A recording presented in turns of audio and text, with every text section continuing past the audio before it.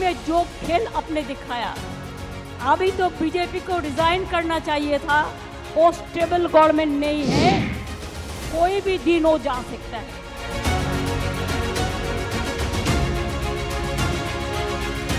वो सरकार चलने वाली नहीं है। वो सरकार गिरने वाली है। आप लोगों ने मिलकर के यहाँ मुकाबला किया। बीजेपी को हटा दिया। आसमान से झमाझम बारिश हो रही थी, लेकिन न ममता बनर्जी मंच से हटी, न उनको सुनने आए समर्थक टस से मस हुए ये नज़ारा है कोलकाता में हुए टीएमसी की शहीदी दिवस रैली का। इस रैली में ममता बनर्जी और टीएमसी नेताओं के अलावा अखिलेश यादव ने भी हिस्सा लिया।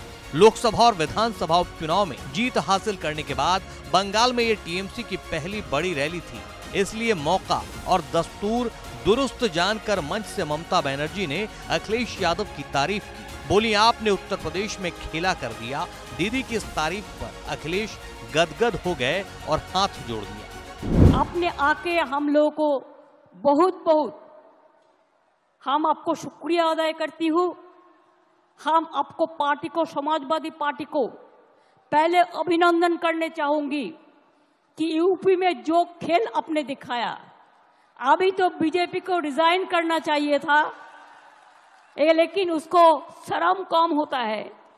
आपको थोड़ा से दिन इंतज़ार करने पड़ेगा, लेकिन आपका साथ मैं सहमत हूँ कि दिल्ली में जो गवर्नमेंट एजेंसी लगा के इलेक्शन कमीशन को लगा के, डर के, डरा के जो गवर्नमेंट ले आया, वो स्टेबल गवर्नमेंट नहीं है, कोई भी दिन हो जा सकता है।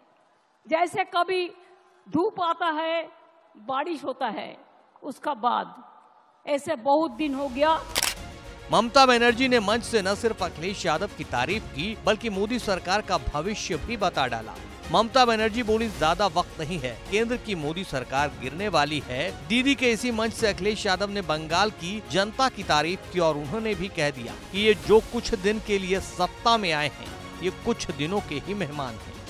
वो लोग गिर करके सत्ता में अपने हाथ में रखना चाहते हैं। हालाँकि बंगाल ने आप लोगों ने मिलकर के यहाँ मुकाबला किया। बीजेपी को हटा दिया, पीछे छोड़ दिया। यूपी भी आपके साथ रह करके पीछे छोड़ दिया।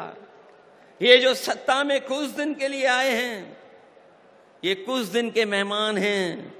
मैंने लोकसभा में भी कहा और आज भी कहता हूँ जो दिल्ली में सरकार में बैठे लोग हैं, वो सरकार चलने वाली नहीं है, वो सरकार गिरने वाली है। और हम और आप लोग देखेंगे एक दिन कि यही सरकार गिरेगी और हमारे आपके लिए खुशियों के दिन भी आएँगे। दरअसल, पश्चिम बंगाल में दीदी ने जिस तरह बीजेपी के एजेंडे को नाकामयाब किया है, ठीक उसी तरह उत्तर प्रदेश के लोकसभा चुनाव में सपा ने बीजेपी के विजय रथ को रोककर उनकी आगे की राहें मुश्किल कर दी हैं। सपा की 37 सीटों के चलते केंद्र की मोदी सरकार बैसाखी के सहारे है। इसलिए दीदी और अखिलेश दोनों ही केंद्र सरकार के गिरने की भविष्यवाणी कर रहे हैं।